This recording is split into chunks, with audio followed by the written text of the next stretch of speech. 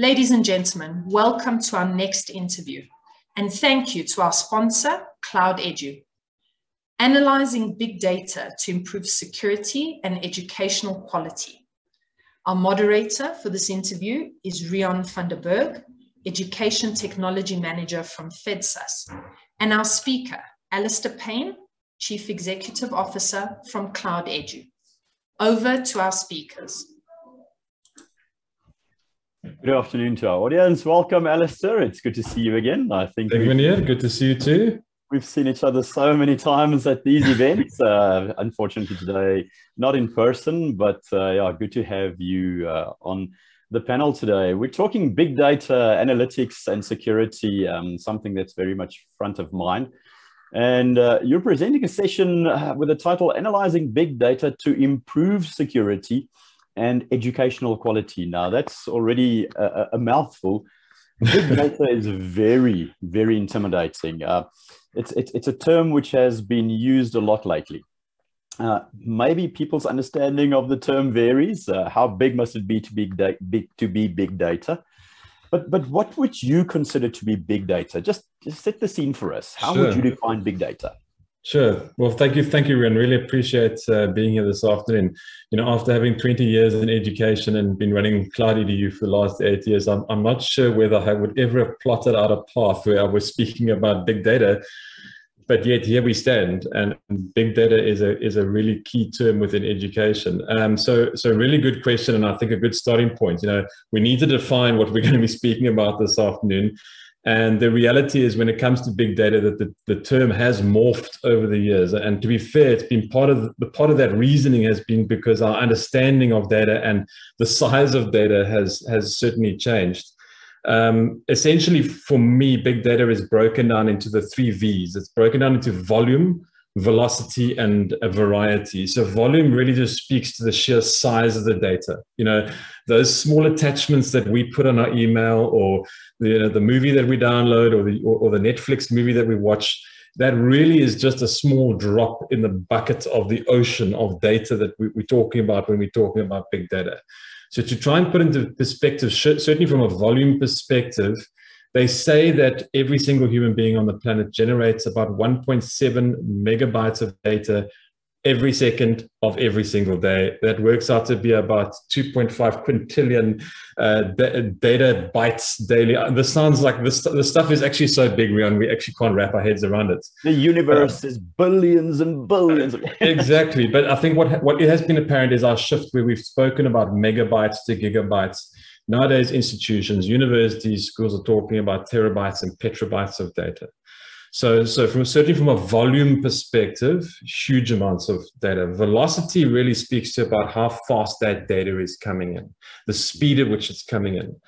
Uh, you know, some of that data could be real time, some of that data could be coming in fits and starts, but velocity is that speed, that ever increasing speed at which it's happening. And we, we speak about real time. It's as it's happening, we want that data at, at our fingertips. And the third is variety. So you know, once upon a time, we, we spoke about, once upon a time, uh, we spoke about data coming in in certain formats, an Excel spreadsheet, a CSV, uh, an Access database. Nowadays, we just have a sort of a tsunami of unstructured data where that was structured. So non-traditional forms like video, text, social media postings, geolocation, all of these things are big data. Um, I thought what would be helpful if, is if I put some meat on the bones of big data and actually give you a practical example. And the best one I could come up with is I went and grabbed a till slip from my wallet. And I looked at that and I said, okay, so what data is on your till slip? And you can you can grab any till slip from your wallet. So we're probably doing it right now. This was uh, my, yeah, my wife and I going out to a meal, but the person who served me, the name of the organization, the time, exact time and date, who was covered, the line items of what is on the menu, and it was a very delicious meal as well. How much how much it cost, eat what each item costs, um, and in this one, actually, it goes down to the, the, the actual machine that was uh, was printed. So that's a really good example of big data, or certainly the start of it, because then if you take that and you then multiply that by the number of transactions that are happening across South Africa, online, in-person shopping, all these big shopping centers that we've got, then you start to get a concept of what that big data is. Okay, so and here comes the critical part about big data, because it's not just about the storage of it, it's, it's kind of what we do with it. So what is a what does that till slip allow me to do? What does that data around it allow me to do? It allows me to drill in and see what type of sales so that I can try and start predicting the future to get ahead of my customer. That's one. But the other is also to look at and mitigate and, and, and reduce risk. So if you think about again in shopping terms, you don't want to go and buy a whole bunch of items in stock that no one is ever going to purchase. And that is really about big data. It's about analyzing that information at your fingertips to make really key decisions. Uh, today, I think we're going to be speaking about really about security and how big data informs those kinds of decisions. So sorry, long long-winded, but hopefully that makes sense. Yeah, so there's there's data, there's big data or even bigger data. There's the intrinsic uh, issues, metadata, what comes with it that's possibly not direct. But we're talking big data, security, or analytics and security, and then education. So education is generating a lot of uh, data as well. So all of the data is being collected. We're on a Google Meet, uh, whatever online call we're doing, video conference. But so what? Uh, what are we learning? Why is it important? Uh, how can we get the value from the till slip into our business, into our security right. space, into our right. education space? Uh, how, how can it inform decision making at institutions? Right. Well, so I think the first thing you've got to kind of ask is say what what sort of big data is being collected? What what where what databases can I draw from? And I think probably the first, and again, we're going to say during COVID, you know, the pendulum has swung, things have changed, and that really is probably the biggest understatement. But you know, when when COVID descended upon us, um, it, it really changed the way we interact, and and the video conferencing tool, the one that we're using right now, became absolutely critical to everything that we did. You know, um, Google said during the pandemic, at the height of the pandemic, they were doing two billion minutes of video conferencing per day. So for me, big data and education, certainly number one has been what is the quality of that video call been like? How can I, and, and IT managers were pulled very quickly into a position where they were being asked to report back on, on quality and um, what, you know, what was the security around it? So for me, that has been one of the, certainly the question number one in education is, is around that video quality data. So um, probably a good time for me to jump into a practical example of this. Um, as, as you've quite rightly said, you mentioned Google Meets, I have as well. Google, at Cloud EDU, we're Google specialists. Um, and so the information that is saved around the Google Meet side of things has been critical to us. Google has provided an incredible tool, which they call the Google Meet Quality Tool. Now, this particular one kept the data for 30 days, but all of those interactions that were taking place Alistair, we lost we lost your video of your sound a little bit. Can you just beef up the? Oh, absolutely. How's that? My technology's been, have been misbehaving on me today, Rian. It's been uh, dropping its sound, so hopefully that's all right. Um, so that that particular data or, or, tool that you're looking at now is called the Google Meets Quality Tool, and all of the video data is being captured and being aggregated so that you can get get something useful out of it. That's really the important thing about big data. So right along the top there, and this is a training domain. Uh, we do a lot of training on here, so there's not a huge amount of data, but very quickly it brings up the, the average time that your organization is spending on video conference calls, the number of meetings, and then three great technical ways of being able to look at um, network congestion, packet loss, and jitter. So these speak to the quality of it. And again, these are little bits, lots of information being collected that, that Google is aggregating for us. So here we go. Here's an ongoing go back to one from 21 days ago. Alistair, we, we lost some sound again. Thanks, Rian. I'm not sure why that's happening, but it's it's uh, the gremlins in my system. Um, but there we go. There's there's um, 46 people in that particular call. Uh, that's a Google Meet, and we're going to drill down into that Google Meet to have a look at some of the data that's in there. So automatically on the left-hand side, we have a start time, we have an end time, and then we have the timeline of the Google Meet call that took place. And, and, immediately it just shows me a couple of the participants, the main participants, but I can actually go show, show more and see all of the participants. How much, when they joined the call, their start point, when did they leave the call, their end point, how much time did they spend on the call.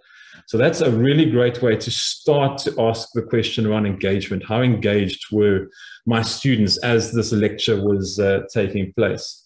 That's not the only thing. It also shows if screen sharing took place, uh, if you're on the Google Workspace for Education Plus Edition, which has polling and Q&A and breakout rooms, give information about those. Um, and then below that, so the first one is, you know, kind of giving me some sort of snapshot on engagement. Below that, it gives me a breakdown of the network. Um, this is a great one because again, invariably you have one person reporting, hey, my, the video call, call quality wasn't good. What information is available? And I get even things like the CPU usage. So if your CPU usage is too high, just a great tool for being able to identify problems um, and be able to get feedback. Uh, another key critical question that many organizations and institutions, particularly universities, are asking is they're wanting to enlarge their class sizes. They're wanting to create more online learning opportunities for students, particularly in rural areas. And they're asking questions around how much data is being utilized uh, by students, how much data is being generated, what, how much data will they need for that particular lecture, what's the cost going to be. And Google, again, give you a complete breakdown on what's the, the kilobit rate for the video, this, in, sorry, in this case, the audio, for the video, uh, and for the screen sharing. So that's just one of the skills, the tool sets that Google has where it's opened up this huge amount of data uh, for, for you to have a good look at. Wow. Well, that's very interesting. I think one of one of the biggest challenges were not necessarily can we go online, but do we have the infrastructure or the um, coverage and then data cost, different data, the actual vehicle of data. So I think this can help a lot in understanding your solution that you yeah. deploy. So, and the, and the great thing is, Rian, is once once you've answered that question and you said, okay, I know how much data is being utilized, Google then have a, a policy toolset where you can reduce students' audio usage or video usage and put them on a lower quality, not great for the student maybe, but it uses a lot less data. So you get to be able to dictate those policies. Yeah, and then saving if you if you're sponsoring the students or the student is paying itself, slightly lower quality is okay if I can afford that yep. rather than having nothing. Yep. Yep. So, so conferencing is one element of big data that we generate and that we find engagement with and that Google is measuring. But I think one of the biggest security risks that we see in organizations um, and where a lot of data is being generated in the background is, is that of email tons and tons of data. Um, large universities, large institutions, uh, a significant security concern. We all have been asked to pay in Bitcoin somewhere. Uh, receiving yeah. mail, spam, phishing, uh, non-malicious uh, mistakes being made, sending of inappropriate mails. These are serious concerns that give a lot of um, right. IT guys uh, some, some headaches, some gray hair, uh, how, how, how can these issues uh, be triaged? How can we pinpoint yeah. where to aim and, and fire so that we secure our institutions? Yeah. So, I mean, listen, there's always been a debate is does email classify as big data? And the reality is certainly based on, on the staggering volume of email. Email hasn't gone anywhere. The staggering volume of, of email that goes out, it, it does very, fall very much under big data, very much unstructured. But it really is you know it's a it's a transport mechanism at the end of the day but we are attaching items to it. We are communicating we're engaging in, in varying different ways. Um, you know i think at one point they said 50% of the world's email is spam. It used to be a lot higher than that. In about 2014 it was up near 70% we've implemented some excellent good practices in email and been able to wrestle that big data so we've got it down near 50% um, but again, Google provide an incredible tool set for you to be able to identify and triage. And again, I'm going to I'm going to do the curse of uh, uh, uh all good do a, a, live demo for you, but hopefully it'll it'll you know show you the the, the, the power. And and as you do that, your sound goes.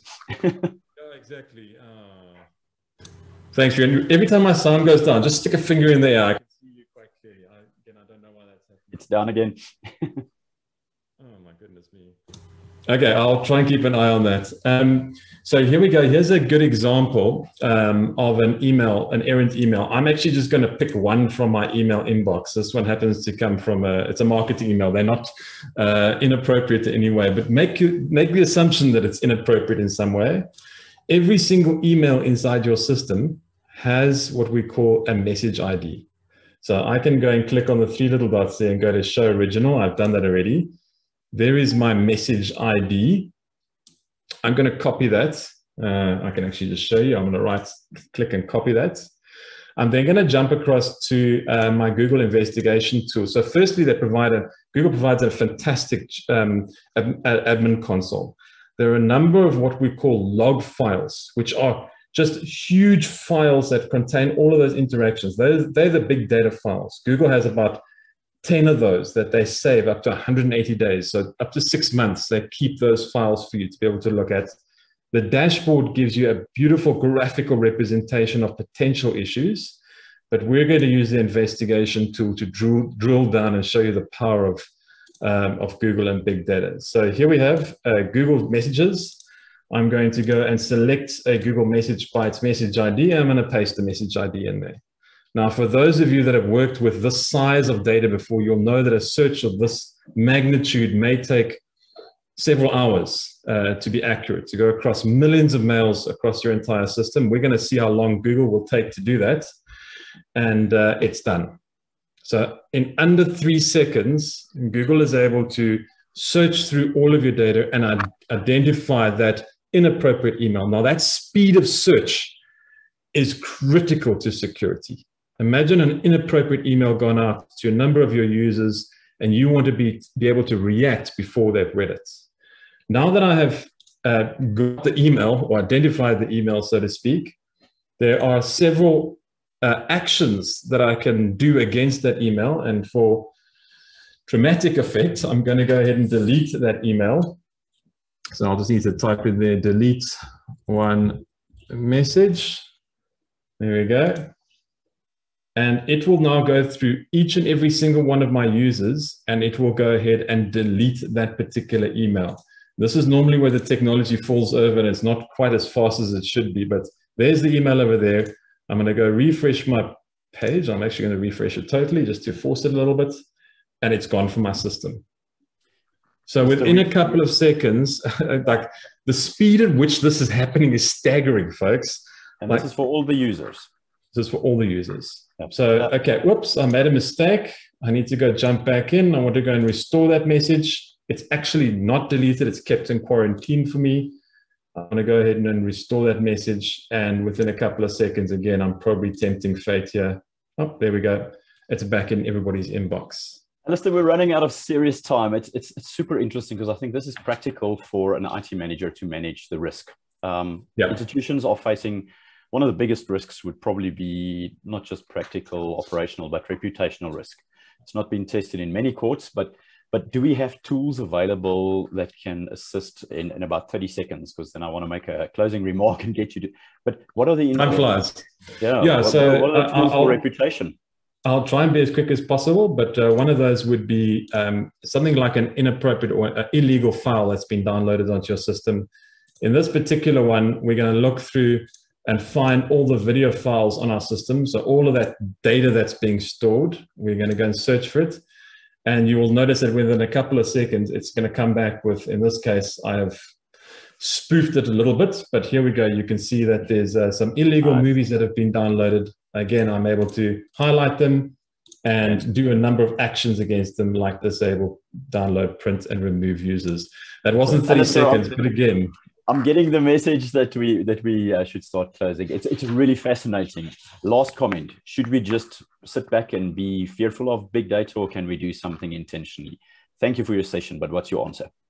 Uh, you can't sit back. We don't have the, we don't have the uh, the we don't we don't have the, the the pleasure of being able to sit back um, and, and be able to just say we can't do anything about it. Sticking our head in the sand is not appropriate. Uh, Google and in particular Workspace had these tool sets that I'm able to search and, and triage my mail. In many cases, it's about getting the right information. And in some cases, it's just about getting uh, the right tool set at our fingertips. So that's from us. Thank you very much indeed. If you want more information, info at cloudedu.co.za. We'd love to hear from you. We'd love to speak to you more about some of the Google Workspace for Education Plus editions Uh, and the tool sets investigation tool that they're available for us. Alistair, thanks so much for sharing with us. Have a great day, everybody. And yeah, let's let's go manage our big data. Gentlemen, thank you so much for your time and for that presentation. Thank you again to our sponsor, Cloud Edu. Ladies and gentlemen, please stay tuned for the next presentation.